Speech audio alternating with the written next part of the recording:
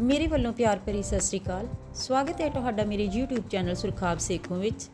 ਅੱਜ ਆਪਾਂ ਬਣਾਵਾਂਗੇ ਬੱਚਿਆਂ ਦਾ ਮਨਪਸੰਦ ਪੀਜ਼ਾ ਜੋ ਕਿ ਬਿਨਾ ਓਵਨ ਤੋਂ ਆਪਾਂ ਤਵੇ ਤੇ ਹੀ ਤਿਆਰ ਕਰਾਂਗੇ। ਇਹ ਬਹੁਤ ਹੀ ਆਸਾਨ ਤਰੀਕੇ ਦੇ ਨਾਲ ਆਪਾਂ ਤਿਆਰ ਕਰਾਂਗੇ। ਜੇਕਰ ਤੁਹਾਨੂੰ ਮੇਰੀਆਂ ਵੀਡੀਓ ਵਧੀਆ ਲੱਗਦੀਆਂ ਤਾਂ ਪਲੀਜ਼ ਮੇਰੀਆਂ ਵੀਡੀਓ ਨੂੰ ਲਾਈਕ ਜ਼ਰੂਰ ਕਰਿਓ। ਤੇ ਜੇਕਰ ਤੁਸੀਂ ਮੇਰੇ ਚੈਨਲ ਤੇ ਪਹਿਲੀ ਵਾਰ ਆਏ ਹੋ ਤਾਂ ਪਲੀਜ਼ ਮੇਰੇ ਚੈਨਲ ਨੂੰ ਸਬਸਕ੍ਰਾਈਬ ਕਰਿਓ। ਚਲੋ ਆਪਾਂ ਪੀਜ਼ਾ ਬਣਾਉਣਾ ਸ਼ੁਰੂ ਕਰਦੇ ਹਾਂ।